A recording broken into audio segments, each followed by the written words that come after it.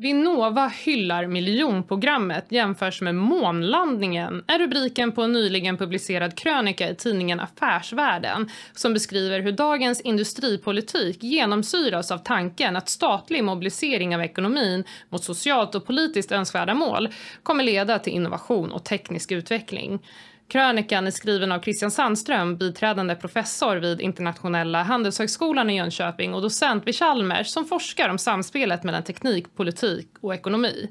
Och jag har med mig Christian Sandström för att höra lite mer om den här inställningen som han menar styr myndighets-Sverige och ser ut att bana vägen för en ny finanskris. Välkommen Christian Sandström. Tack så mycket. Du har ju tidigare uppmärksammat flera så kallade gröna bubblor och lyft hur de här hållbara industrisatsningarna varit allt annat än framgångssagor för vare sig svenskt näringsliv eller klimatmålen. Och nu har du alltså skrivit en krönika om vad du anser är en bidragande orsak till varför man fortsätter att se exempel på den här typen av misslyckade projekt. Kan du berätta lite mer om det här?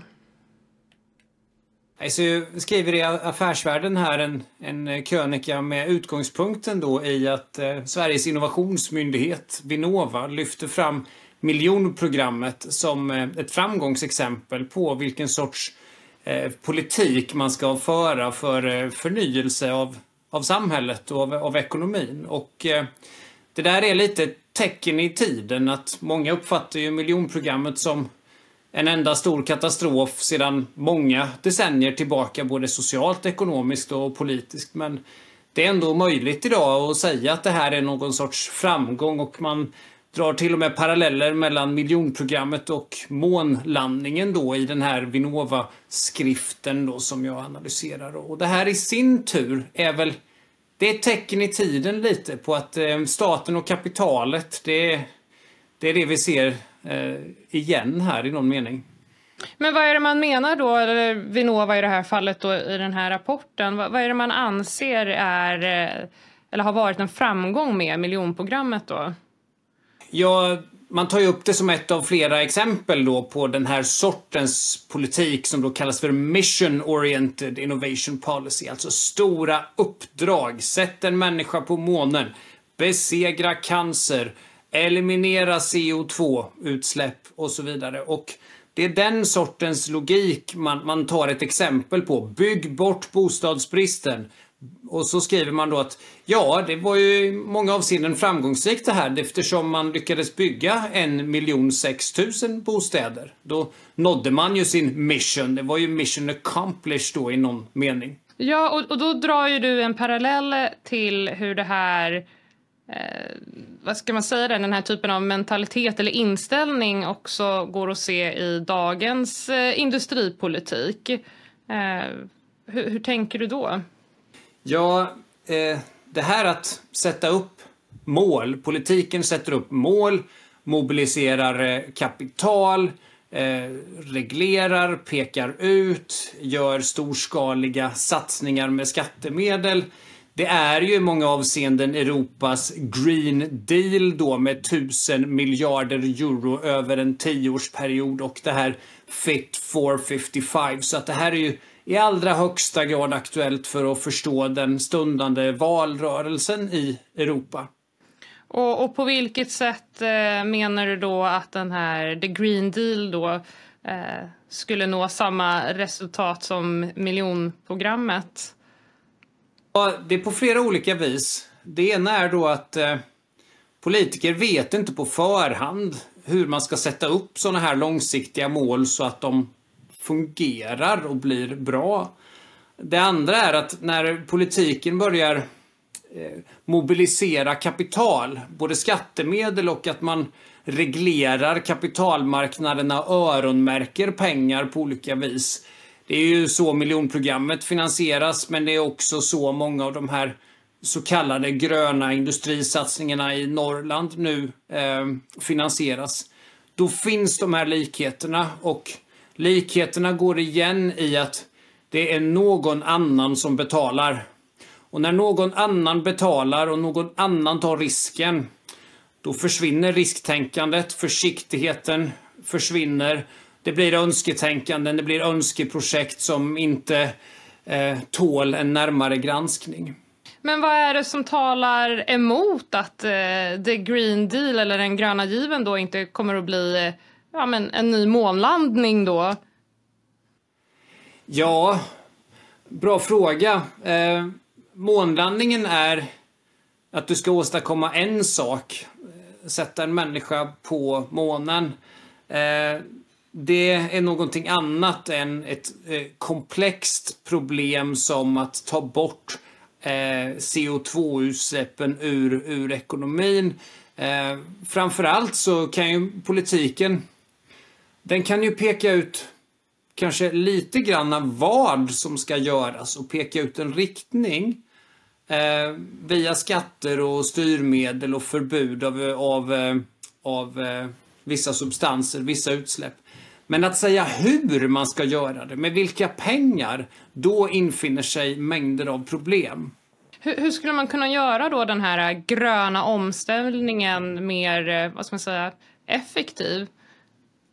Eh, man ska sluta hålla på med subventioner av vissa teknologier såsom havsbaserad vindkraft eller vätgas. Eh, man borde istället ägna sig åt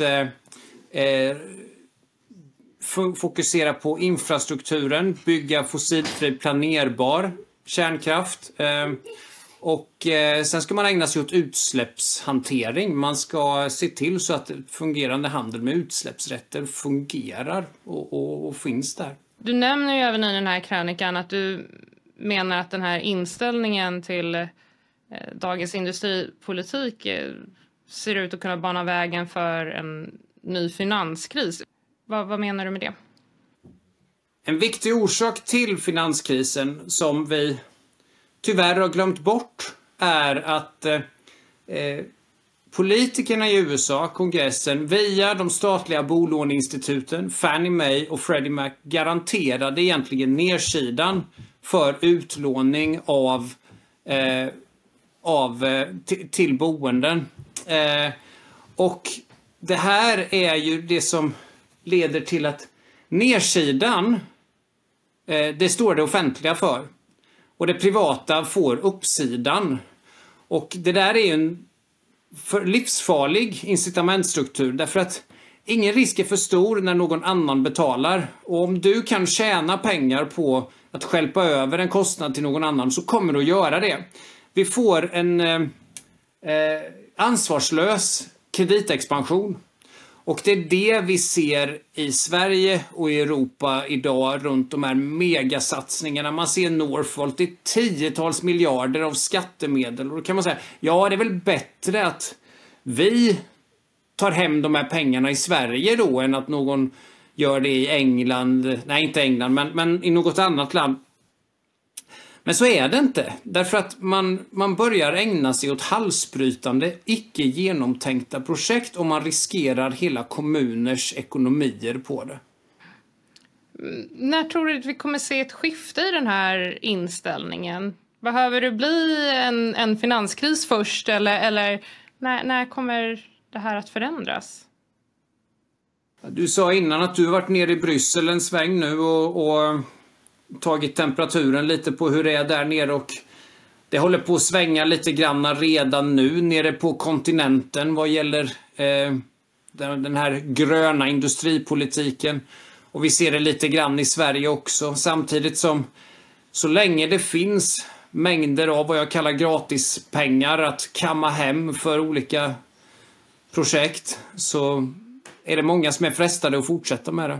Och eh, så länge de här, de här enorma pengarna finns i Bryssel och på nationell nivå så kommer mycket av det att fortsätta. Eh, men eh, det är en industripolitisk renässans vi befinner oss mitt uppe i och det har ju jag och Magnus Henriksson och Mikael Stenkulla, vi har ju försökt att ta ett helhetsgrepp runt det här i vår nya bok då, Moonshots and the New Industrial Policy. Det är därför vi kallar den för Moonshots. För att idén är just att man ska ha såna här moonshots eh, för att lösa olika samhällsproblem. Och eh, vi tar oss an det där och, och bryter ner det och förklarar egentligen varför det eh, förmodligen inte kommer att fungera.